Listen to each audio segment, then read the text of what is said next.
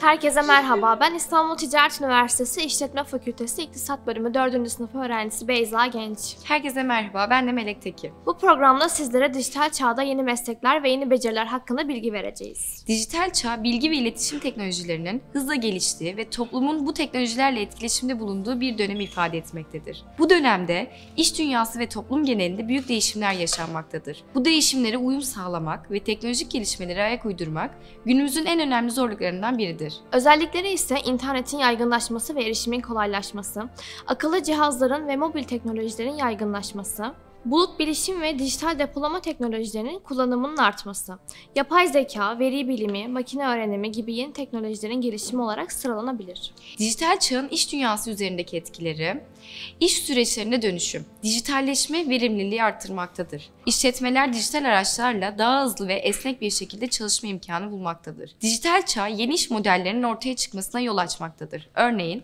paylaşım ekonomisi ve abonelik tabanlı hizmetler gibi. Dijital çağ işletmeler arasındaki rekabeti küresel düzeye taşımıştır. Küçük ölçekli işletmeler bile dijital platformlar aracılığıyla küresel pazara erişebilmektedir. Dijital çağ, teknolojinin hızlı ilerlemesiyle birlikte iş dünyasını ve iş yapma şekillerimizi kökten değiştirdi.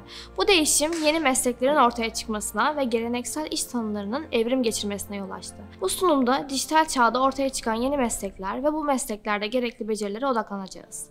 Veri bilimcileri ve veri analistleri, yapay zeka ve makine öğrenim mühendisleri, dijital pazarlama uzmanları, bilgi güvenliği uzmanları, sanal gerçeklik ve artırılmış gerçeklik geliştiricileri, blockchain uzmanları, içerik yaratıcıları ve YouTuberlar. Dijital çağda çalışmak için teknolojiyi kullanma yeteneği esastır.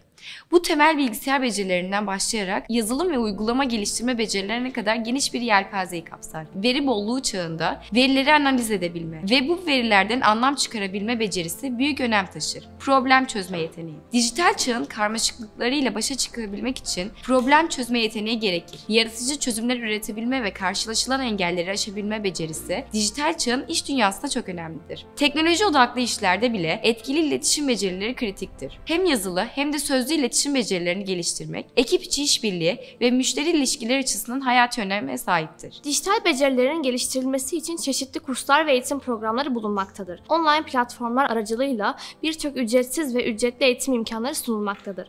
Şirketler çalışanlarının dijital becerilerini geliştirmek için iç eğitim programları veya dış kaynaklardan yararlanabilirler. Kişisel olarak sürekli olarak yeni beceriler öğrenmek ve kendini geliştirmek için çaba göstermek önemlidir. Sonuç olarak dijital çağda yeni mesleklerin ve becerilerin ortaya çıkması iş dünyasını ve toplumu değiştiriyor ve geliştiriyor. Bir değişime ayak uydurabilmek ve başarılı olabilmek için sürekli olarak öğrenmeye ve gelişmeye açık olmalıyız. Bugünkü programımız burada sona eriyor. Bizi izlediğiniz için teşekkürler. Bir sonraki programda görüşmek üzere. Görüşmek üzere.